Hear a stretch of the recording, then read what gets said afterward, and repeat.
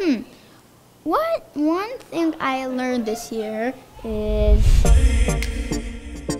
Well, I learned something new every day. I like all my Hebrew classes. My favorite program this year was uh, the Tu B'Shvat program and Morally Yours Lashon class. I really, really like math because it's always a challenge and I like to be challenged a lot. My favorite thing about Hillel Torah is the community. Everyone knows and is friends with everyone else. My Hillel Torah friends are amazing. They always help me when I need it. The teachers help us and like students help each other. It's like one big family.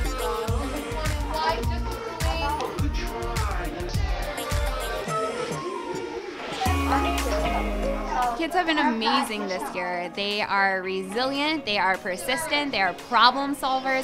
They absolutely love being at school. This year is different, but this year is also the same. It feels okay even though we're wearing masks. It has been a different year, but we also have been forced to be creative, think outside the box, and come up with new ways. How can we accomplish the same goals given our constraints? We have Zoomers. Zoomers mean like you have to be from home and do all the work. Art is in our classroom. Usually we would go to the art room, but we do it in our classroom, which is kind of fun. It's amazing. They don't give up on any activities that we are used to. One example of that is the Tu B'Shvat show that we had. We're going to do the Rashi play and I'm really excited for it. We're practicing for a Chumash play, and we got a Fiala or Chumash a few days ago. So the best thing that we've been able to do for our students this year and staff is to provide consistency and structure. The use of technology has been huge for us. It's taught me a different set of skill, different digital tools to rethink how we're teaching.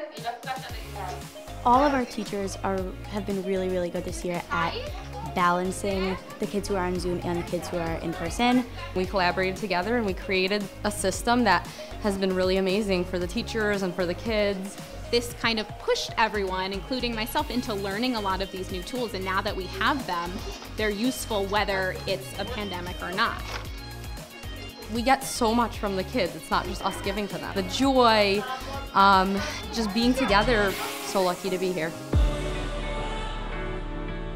Our students almost have gotten more out of this year. To face these challenges and still plow through and make the school experience meaningful has been something for me that's really inspired me.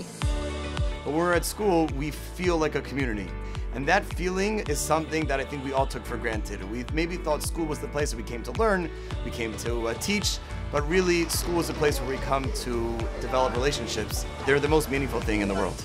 Being able to accomplish what we have has really taken our entire community coming together to our teachers, to my fellow administrators, to our students, to our parents, to our supporters.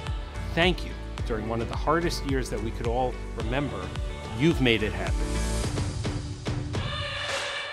I love Hillel Torah. And you have את Hillel Torah. Thank you to the staff and thank you to everyone that keeps us safe. We love Hillel Torah.